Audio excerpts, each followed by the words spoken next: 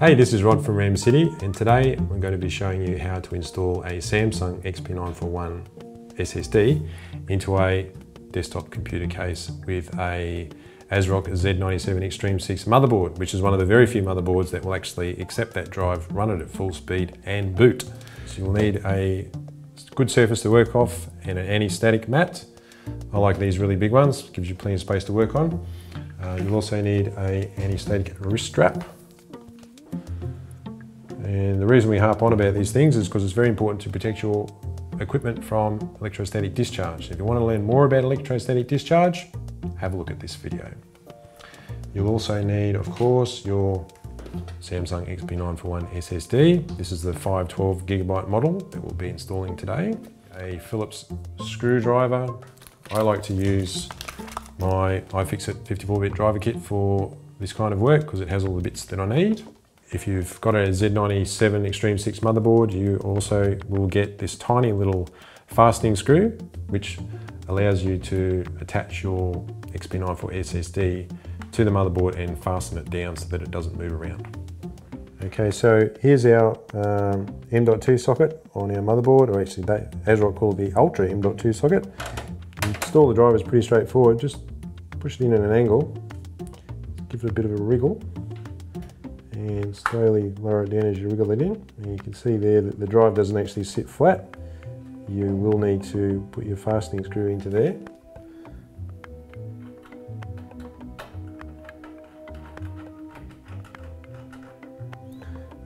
Okay, so that's the drive installed and now we're going to run through the software procedure to install Windows on the computer. Okay, so the first thing that you need to know is you won't be able to install Windows on your XP941 unless you do it from a USB drive.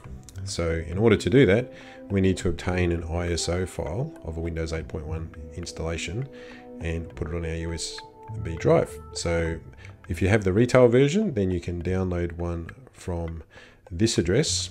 It's an ISO file and that address there will just download a executable file and what you need to do is to save that to your hard drive. And then once that's saved we'll then need to execute that and run it. And then this is where you put in your Windows product key. So note this only works if you have the retail version. If you have the OEM version then you won't be able to use that product key here and um, that's what we're going to show you how to do next. So I've got the OEM version on mine, so therefore downloading an ISO is an option for me. I'm going to have to make an ISO file from my existing OEM DVD. So we'll do that next. So to make an ISO file, we're going to use a program called MagicISO, which is free to use. And just Google on MagicISO, jump on their website and click the download button and then just choose the appropriate download site, doesn't matter which one. And you see I've already downloaded that software to the machine and I've already actually installed it as well. So we'll just start up MagicISO. And to get started, we just go to the tools menu and select make ISO from CD DVD ROM. And now you need to have a look at your output directory. Uh, before I actually name this, there's one thing you need to change, which is this universal image format. If you just change that to ISO, and then you can go ahead and give your ISO file a name. I'll just call mine Windows 8, and go ahead and save that. And then just leave that as make CD image in the option, and select the OK button and away it goes. So we'll fast forward this process and you can see it there on the directory. So that's what you're going to use in the next step. Right, so now that you've got your shiny new ISO file, we're going to need to burn that to our USB drive in a bootable format. So to do that, I like to use a program called Rufus. And once again, it's a piece of freeware that somebody's kindly made, does the job really well. So just Google on Rufus, R-U-F-U-S, and select the latest download. You can see I've already downloaded to my drive there. So I'm going to go ahead and install that. and it fires up pretty quickly. So the device label, just you need to choose uh, an 8 gigabyte or even a 4 gigabyte USB drive. Just make sure it's okay to completely wipe it. Uh, the partition scheme I just left as default and I changed my file system to NTFS, uh, although I believe that FAT32 works for most people.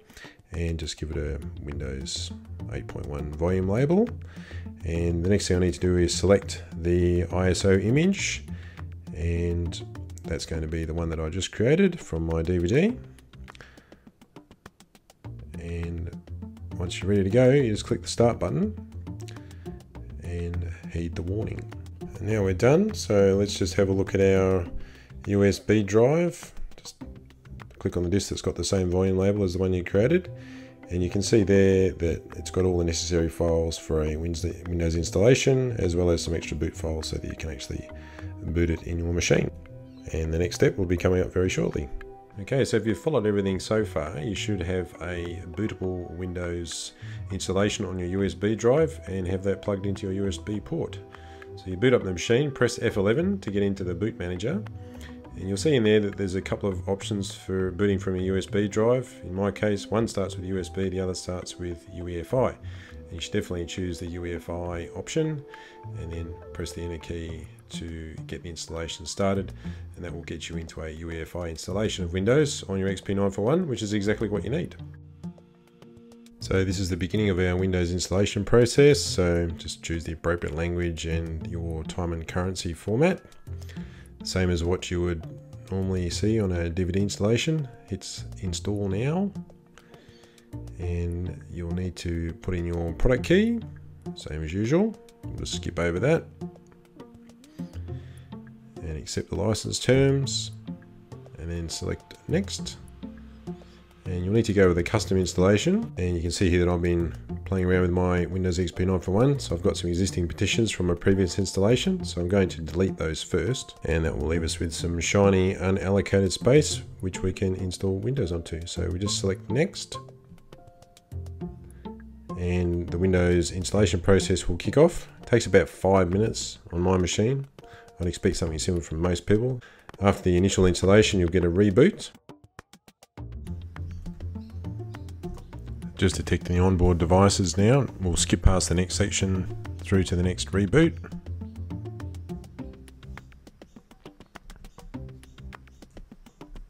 And now we're at the final part of the installation. We just need to put in a PC name. This all goes much quicker if you disconnect the machine from the internet. It's a tip for you.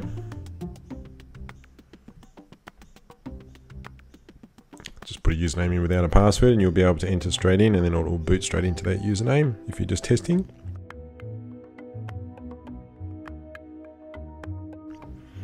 And there we go, Windows installed.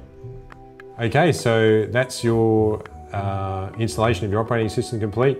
If everything has worked out well, you'll be booting off your Samsung XP941 and grinning from ear to ear because it's going so fast for you. Um, thanks for watching the video and we'll catch you next time. Will that do?